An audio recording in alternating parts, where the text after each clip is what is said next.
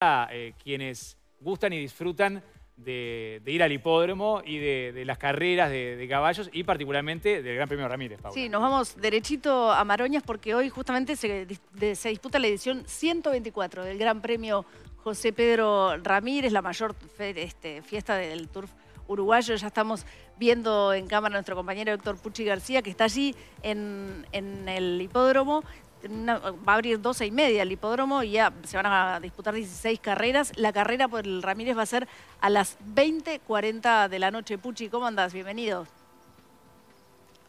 ¿Qué tal, Paula, Leo, Nacho? Un gusto estar con ustedes. Buen día, Puchi. Ya apostados de tempranito.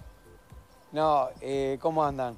No, los estaba escuchando atentamente de los temas que estaban eh, hablando y esperando acá eh, en el hipódromo con el equipo de desayunos para darles un pantallazo a todos los televidentes de lo que va a pasar hoy eh, en, nuestro hipódromo. Y bueno, eh, llegamos acá a 7 menos cuarto y creo que el horario de partida va a ser allá por las 10 y media, 11 de la noche, cuando terminemos todas las labores en, los diferentes medios.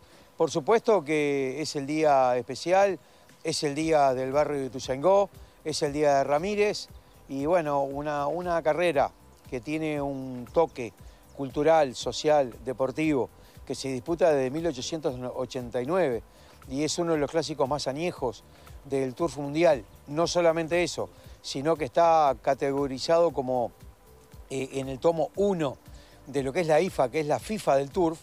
Eh, no solamente nosotros, los que estamos este, viviendo el día a día con el Turf, sino el mundo, eh, el Orbe Turf, eh, sabe que se corre el Ramírez hoy.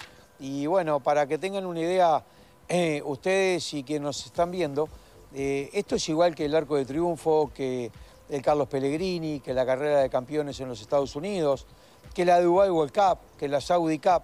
La única diferencia que tiene es el, monto a pagar de premios, que acá es diferente porque no, no tenemos ni petrodólares ni estamos ni en Estados Unidos, pero 120 mil dólares en premios para, una carrera no es nada despreciable. Y bueno, ganar un Ramírez, eh, lo digo yo siempre, lo escribo, que es estar en, el Olimpo del Turf. ¿Por qué?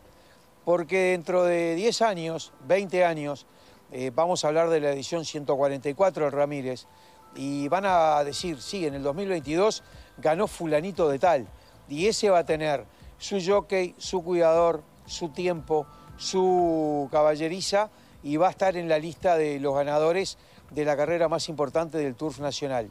En arena, también del Río de la Plata. Claro, Puchi, porque aparte es una carrera importante para la región, no, no solamente para, para, nuestro país. Y este año, aparte, el Gran Premio Ramírez se llama 60 años de la tele por el aniversario de, nuestro canal, ¿verdad? Claro, y es por segunda vez, Nacho. Eh, me acuerdo que en el 2012 eh, se hizo 50 años de la tele y ahora eh, creo que eh, hablaron autoridades del canal con las autoridades del diario El País y El País tiene el nombre de, la carrera desde que empezó en el año 2004, desde la reapertura, y se llama eh, Copa El País 60 años de tele O sea que para todos nosotros que estamos trabajando en el canal es un, día, es un premio también especial porque bueno, eh, se cumplen 60 años del nacimiento de, nuestro canal. Y yo creo que tiene connotaciones y creo que eh, lo que marca el Ramírez es el estatus de los caballos uruguayos a nivel del mundo.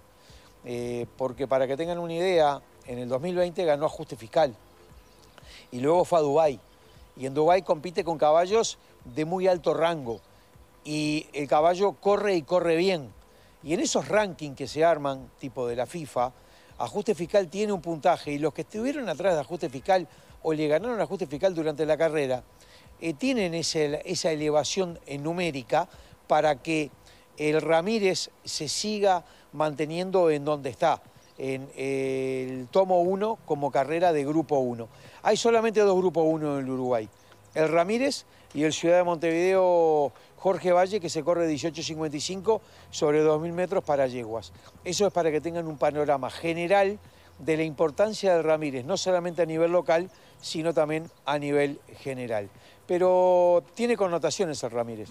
Puchi, queríamos... Eh, Porque hay jockeys que lo ganaron Sí. No, no, seguí, seguí, seguí, después te pregunto.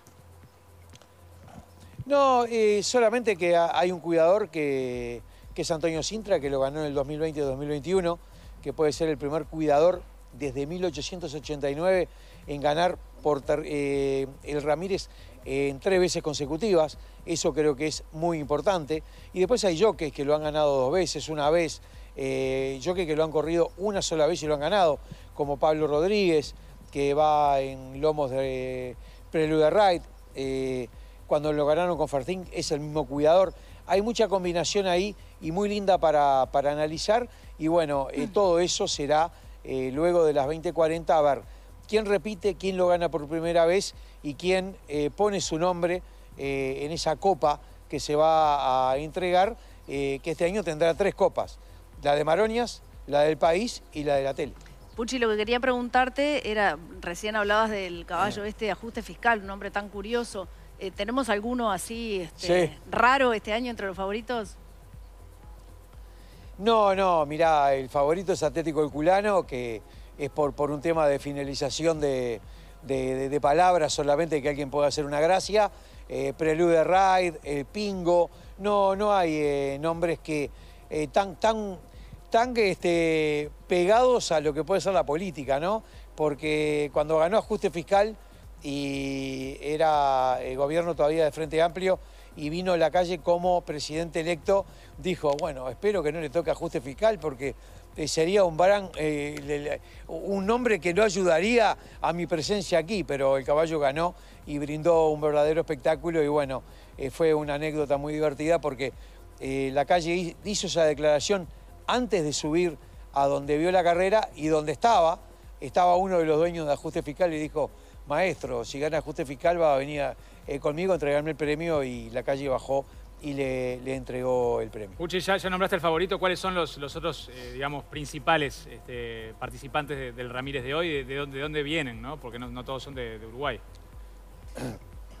Mira, eh, Atlético Culano es nacido en Melo, criado allá, empezó su campaña allá y es el caballo que viene de ganar el último Ramírez el 17 de enero o sea, podría ser el noveno eh, ganador doble de Ramírez. Eh, ganó el General Artigas, ganó campeones y entró segundo en el Latino. O sea que ese es el gran candidato. Prelude Ride, comprado de año y medio, no, perdón, de año, en la República Argentina. Lo trajeron acá, lo recriaron, va a defender al Lucía y Matías. El caballo lo cuida Germán González en las piedras y lo va a correr Pablo Rodríguez. Lo bueno del caballo que es el crack de la generación 2018. Ganó la Polla y el, Nacional. ¿Quién ganó Jockey Club? Que son las tres carreras que componen la Triple Corona. Round of Applause, un caballo del 3 de enero, eh, del Estu 3 de enero, que supo ganar esta carrera con eh, Fletcher en el 2016.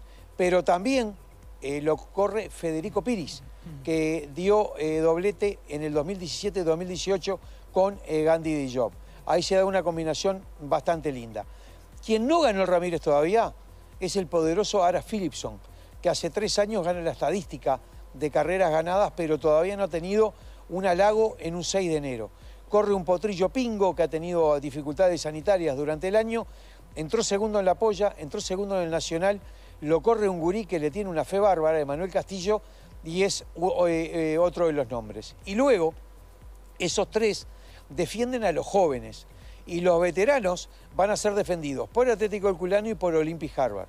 Un caballo que tiene siete años, que ganó nueve clásicos en Maronias, que lo va a correr Héctor Fabián Lazo, que viene de ganar el comparación por tercera vez consecutiva y es el quinto nombre que se suma de los doce a eh, poder tener eh, el halago de ganar un Ramírez. No quiero dejar eh, sin nombrar a El Curato, un caballo de lo cual tengo mucha afinidad, que estoy con el estudio del Anderson, en un estudio que fundé eh, con unos amigos hace 6, eh, 7 años, con Baila de Noche. Eh, los del Anderson corresponde a que son amigos de, de 8 o 9 años de edad, íbamos al mismo colegio, fundamos los colores, tienen los colores de Nacional en el medio y los de Peñarol en los costados, ah, para dividir un poco... quedar bien con todo el mundo. no, no, para quedar bien entre nosotros, éramos cuatro éramos dos y dos. Entonces, este, y aparte para la gente, ¿no? Y este, a mí me dijeron el diseño de la camiseta, le dije, de la chaquetilla, háganlo ustedes, y yo hago solamente la gorra. La gorra es negra con pompón amarillo. Y me ah, dijeron, ¿por qué? Te perdono. Porque uno de los estudios más ganadores de Maronia de los últimos años es el 3 de enero, el que ganó Fletcher, el que tuvo Invasor. Y esa es la gorra que tienen ellos y eh, la verdad, a mi amigo Bío este, y a la gente del Estudio San Martín eh, se las copié y la verdad que con el curato, con Happy Day, con Balea de Noche, no nos hay salidora, no nos salió nada mal. Es un nombre para tener, es un nombre para tener en cuenta, pero es un caballo que eh, en la noche de hoy puede dar 30 por 1. Es un hecho anecdótico que lo sumo por un tema que soy partícipe eh, en el caballo y, y es lindo de contarlo. el, cuidador que puedes ganar por tercera vez consecutiva, ¿con qué caballo iba? Va con Olympic Harvard, con, Olympic Harvard. con Atlético Herculano y con eh, Footstep. Uh, Va con los tres caballos, ganando cualquiera de los tres.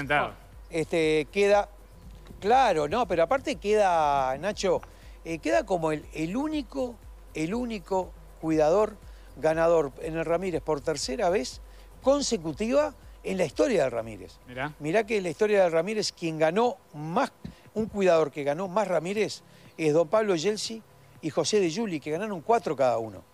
Y Sintra, en estos últimos cinco años que presentó caballos, puede llegar a quedar eh, en el Olimpo del Turf, porque de aquí el más, cuando empecemos a hablar del Ramírez 2023, uno de los temas va a ser, eh, que siempre eh, hablamos de la historia, quién ganó más clásicos en el meeting, pa, pa, pa, pa, pa, vamos a hablar de el Sintra que ganó tres consecutivos. Veremos qué pasa, Puchi, hoy. Entonces, bueno, muchas gracias por este contacto y bueno, que disfrutes mucho de, este día tan, tan eh, importante para, para todas las personas vinculadas al mundo del turf. Y obviamente estaremos atentos a lo que ocurra en el Premio Ramírez, 60 años de la tele, y en el eh, Ciudad de Montevideo y los otros premios que se corren hoy. Muchas gracias, Puchi García. Eh. Un abrazo grande, te mandamos. Gracias, Nacho. Solamente decirle que las puertas se abren 12 y 20, 13 y 20 se corre la primera y 20.40 en Telemundo tendrán con relato propio el Gran Premio José Pedro Ramírez en vivo. Impecable, Puchi. Abrazo grande, eh, muchas Gracias. Bueno, muy bien.